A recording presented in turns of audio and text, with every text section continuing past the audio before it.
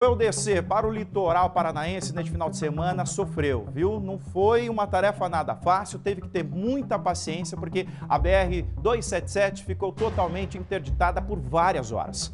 A pista ficou encharcada de óleo por conta de um acidente grave que aconteceu. Infelizmente, uma pessoa morreu.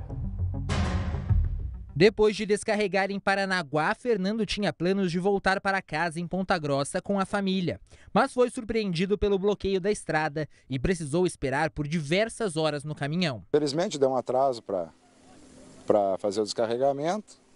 E quando nós estávamos subindo, que aconteceu o acidente. O caminhão vinha aqui pela 277 no sentido litoral. Segundo testemunhas, ele estava com o pisca-alerta ligado, o que pode indicar uma falha mecânica. O caminhoneiro perdeu o controle do veículo, atravessou a pista para o outro sentido e bateu de frente com um veículo de passeio. O caminhoneiro não resistiu aos ferimentos e no carro duas pessoas foram encaminhadas para o hospital em estado grave. O óleo vegetal que estava sendo transportado ficou derramado pela pista nos dois sentidos. Durante a manhã da véspera de Natal, a Polícia Rodoviária Federal orientou motoristas para que fizessem um retorno por não ter previsão para a liberação da pista. Por conta disso, a fila que se formou na região era formada principalmente por caminhões. Para tentar liberar o trânsito, né, tirar as pessoas dessa situação desconfortável, a PRF está fazendo uma operação no local aqui para tentar tirar o máximo possível dos veículos da fila.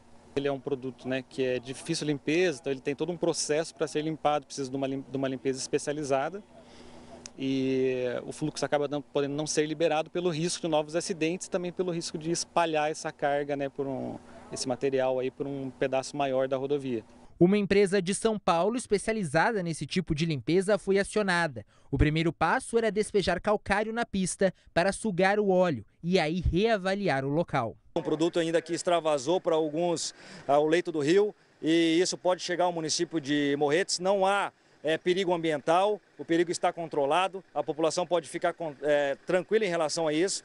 E também nós estamos com um trabalho na pista para que esse fluido óleo seja retirado e nós tenhamos uma condição de segurança de tráfego nesse ambiente. Outra preocupação das equipes era com a possibilidade de o óleo chegar em um córrego próximo do local do acidente.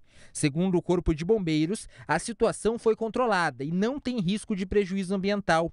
A Defesa Civil vai continuar monitorando. Esse óleo uh, vegetal, se ele chegar ali, ele altera né, toda, toda aquele, uh, aquela dinâmica do rio, pode chegar a afetar a fauna, os peixes, né, ou, ou até a, a vegetação que está ali do lado. Então a gente precisa acompanhar isso e se é, verificando ali as áreas que foram afetadas também fazer a, a recuperação, né, fazer todo esse atendimento para que volte à normalidade. Regiane estava indo para o litoral de ônibus quando a pista foi bloqueada. Para não atrasar ainda mais os planos, conversou com os amigos que já estavam na praia para que buscassem ela do outro lado do bloqueio.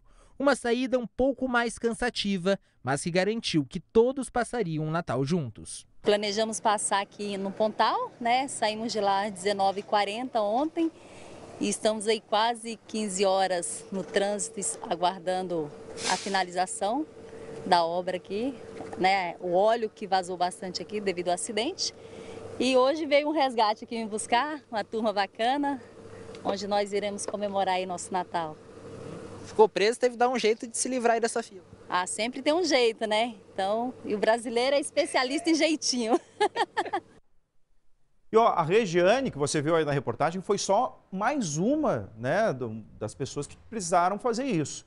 Porque esperar 10, 11, 12 horas não tinha jeito, teve que deixar o ônibus. A gente recebeu muitos relatos aqui de usuários ali da BR-277 que saíram dos ônibus, fizeram o caminho até Morretes, até Morretes a pé, porque não tinha outra opção. Estava tudo travado. Apesar do trabalho efetivo ali, pelo menos, a tentativa da PRF em liberar a parte do trânsito, não tinha como. Foram mais de 15, 20 quilômetros de filas parados, não tinha, como, não tinha o que fazer. Então, muita gente optou por descer a serra a pé, pelo menos assim, aí vai batendo ansiedade, vai batendo aquela agonia, e aí conseguiram passar aí o Natal com seus familiares, né? Mas eu imagino a agonia dessas pessoas parados, literalmente, parados. E a gente volta agora a conversar com o Léo justamente sobre essa situação, sobre esse acidente que aconteceu ali